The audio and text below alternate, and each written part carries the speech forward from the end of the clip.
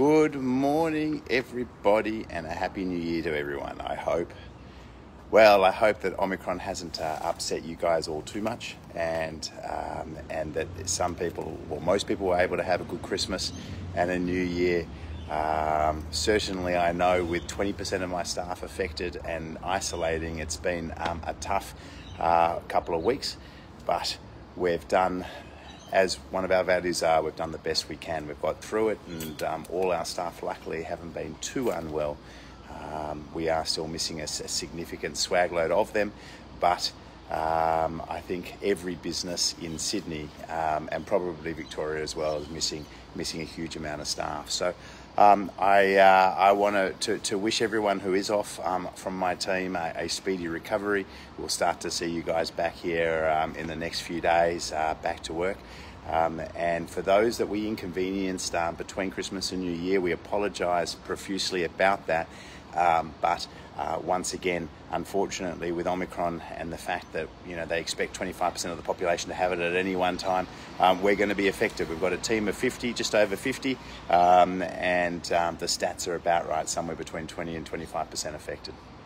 Uh, what that means is over the next week or two, um, there will be some disruptions to service. We will uh, endeavour to do everything that we possibly can, but emergencies come first. We will have to delay, as some of you have received messages over the last few days, we will be delaying some services um, in order to, to prioritise.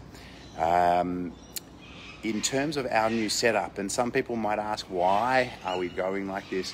Um, the setup is as follows to, to enable that my staff remain as healthy as possible, that we all don't go down all at once and we don't get it from, um, from the public. Um, I know that everyone's out and socialising, so there's a degree in, of inevitability um, involved. Um, so here we are in Patterson this time. So some of you have consulted over here, um, but what we'll actually be doing is we've set up a, a, reception here. My receptionist will be here in Patterson Street, so in the Kiaora Lane, um, across the road from the clinic.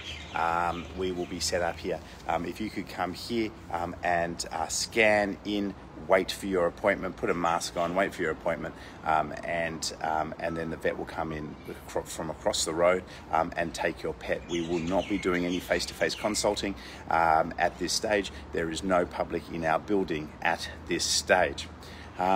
We will change with the times. And trust me i don't i don't like all of this. I've, I've spent all night last night with my young kids till about 9.30 moving all the reception area across here.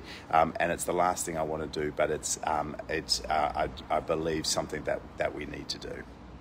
Um, uh, at some point, we, we, I know a lot of you are questioning what the government's doing. I think the government's done a pretty good job, um, although, albeit, um, we've got to remember that um, we, we small business has suffered um, and small business will continue to suffer, whether that's staffing levels, whether it's um, fear levels.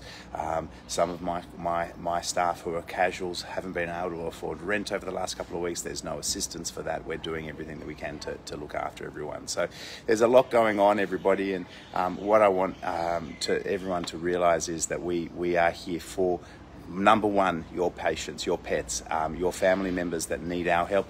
Number two, for my staff, that's what we're doing this for. Um, because we're a close knit team and um, we respect each other and we want to make sure that everyone is mentally and physically fit. And that's the most important things. And so, um, poor behaviour won't be tolerated. Um, rude emails that I've received over the over the weekend won't be tolerated. Um, we are here for the community, um, and that's what we intend to do. So thank you very much, everybody. Um, have hopefully to 2022 will be a better year, a safer year, and a happier year. Um, and once we can get this Omicron off our off our uh, shoulders, um, we'll be back to normal as soon as we can. Thank you. See you all soon. Bye bye now.